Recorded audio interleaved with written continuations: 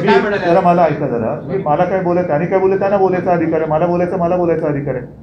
त्याच्यामुळे मी पॅकेज मुख्यमंत्री नाही आहे मी मदत करणारा मुख्यमंत्री माझे सहकारी मंत्री हे मदत करणारे माझे सहकारी मंत्री आहेत.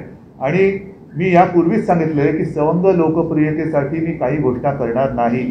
अजूनही सांगली असेल कोल्हापूर असेल इथलं पाणी पूर्णपणे ओसरायचं आहे आता ओसरल्यानंतर जसं चिखल बघतोय आपण चिपळूणमध्ये सुद्धा मी तेच बघितलं. तर ह्याचा पूर्ण अंदाज घेतल्यानंतर आपण या दोन गोष्टीवरती लक्ष देणार आहोत. एक तात्काळ मदत तिथं आम्ही जाहीर केलेली आहे जी एन डी आर एफच्या निकषाप्रमाणे आहे. आणखीन एक गोष्ट सांगतो की काही महिन्यांपूर्वी नीती आयोगाची जी बैठक झाली होती माननीय पंतप्रधानांनी बोलवली होती मुख्यमंत्री आणि ते असे होते. त्याच्यात मी एक सूचना केलेली आहे की एन डी आर एफचे निकष हे दोन हजार पंधराचे आहेत. आता दोन हजार एकवीस अर्ज गेलेला आहे. हे एन डी आर एफचे निकष हे आता बदलण्याची गरज आहे.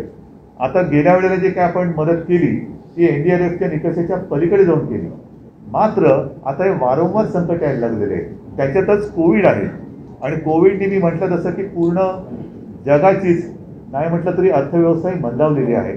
आणि तुमच्या लक्षात आलं असेल की संकट आलं रे आलं की राज्यातून केंद्राकडे काहीतरी मागणी होती की एवढे हजार कोटी द्या. मी केलेली नाही.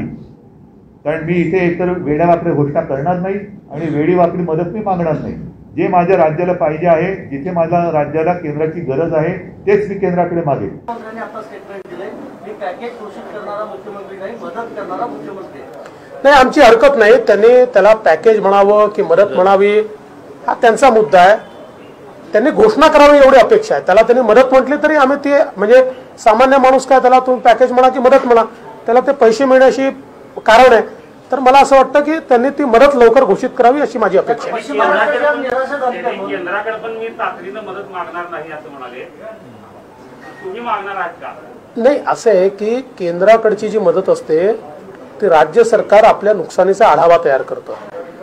आणि मग या आढाव्याचा एक मेमोरँडम तयार करावा लागतो जो मेमोरँडम हा जे काही एनडीआरएफचे नॉर्म्स असतात त्या नॉर्म्स प्रमाणे तो मेमोरँडम द्यायचा असतो.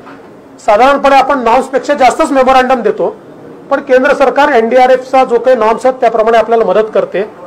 दुसरं केंद्र सरकार आपल्याला त्यामध्ये ही सवलत दिलेली आहे की दर वर्षाच्या सुरुवातीला एस डी आर एफमध्ये केंद्र सरकार आपल्याला पैसा देत असते. त्यामुळे ही मदत यायच्या आधी तो पैसा एस डी आर एफ आपल्याला खर्च करता येतो आणि ती मदत आल्यानंतर तो एस डी आर एफमध्ये पुन्हा त्याची भर आपल्याला टाकता येते.